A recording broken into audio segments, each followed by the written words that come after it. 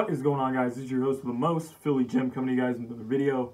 And uh, today I read an article on uh, Bleeding Green Nation, which is Brandon Lee Gowton's uh, thing, and he ha- he has a podcast, and he was on with a guy from another reporter in Philly.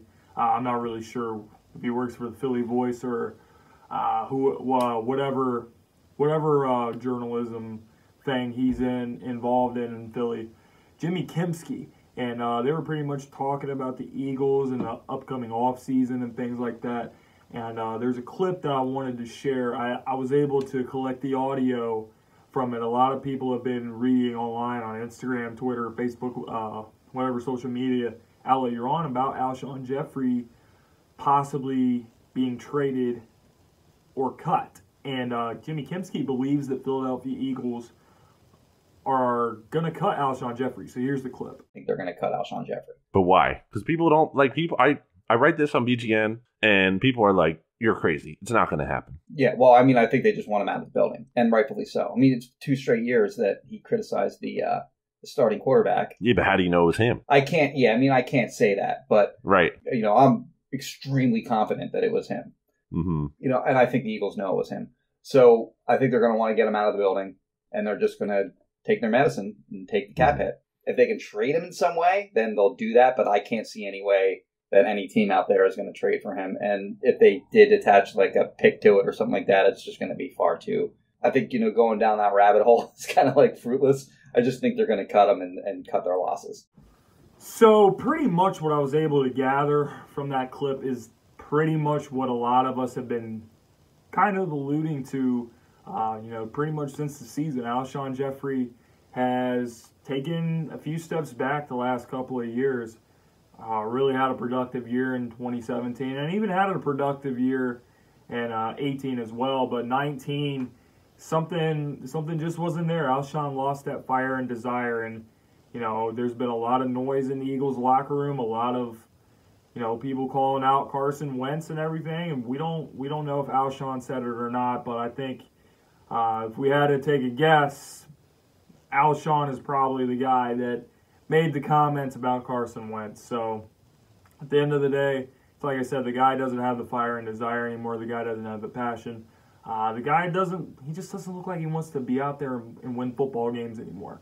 So when you get to a point where you have a player that just loses the passion for the game, that's when it's time to move on. And on top of that, there's a lot of noise and drama coming out of there. Alshon, you know, they've asked him about it, and you know, first time initially he, he denied that he was the one who made the comments, and then, you know, he didn't deny it the second time. So I think uh, I, I honestly feel like he said a lot of people uh, think it could be someone else, but the way Alshon is playing, the level of effort that he put on the field uh, with Carson Wentz uh, pretty much says a lot because the the other guys, the young guys like uh, Deontay Burnett and Greg Ward and uh, the pra- these practice squad receivers completely outperformed Alshon Jeffery, and that says a lot about Alshon's regression and his level of effort. So at the end of the day, time's come to get rid of him. And the Eagles, they may have to just lick their wounds and take the big cap hit, which could be a pretty significant blow. Or, you know, you, you just gotta you got you just gotta trade him. The, the, Tampa Bay Buccaneers kind of did something similar when they traded DeSean Jackson back to us. You know, they had they had DeSean Jackson's contract and they were kind of just trying to get rid of it. So they took a couple of uh, very late round picks for him, and they, they got rid of him, and they got someone else uh, uh, take on DeSean Jackson, and then the Eagles worked out a contract with him. So uh, can can the Eagles find a trade partner uh, with like that for Alshon Jeffery? I think it's possible, but I wouldn't say it's super likely.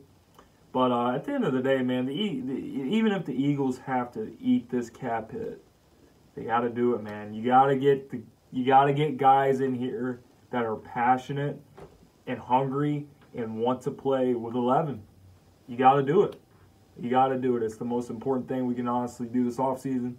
Anyway, guys, that is all I got for you today. This is your host of the most Philly Jim. I will see you guys later. Philly Jim, you're trying to be Joey Shakes. I don't know why you have beef. You got most of your. Get destroyed!